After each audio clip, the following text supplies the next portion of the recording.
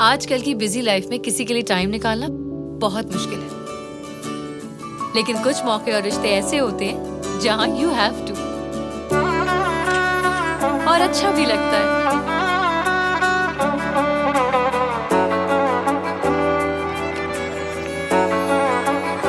और दोस्तों के हैप्पी इवेंट्स को भी तो मिस नहीं किया जा सकता। स्पेशली जब बात हो बेस्ट फ्रेंड की। तो इम्पॉसिबल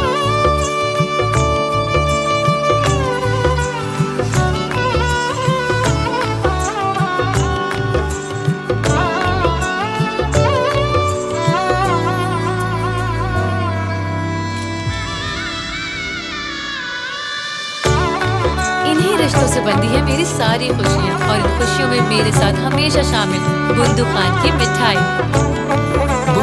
स्वीट्स एंड बेकर्स खुशियों की मिठास।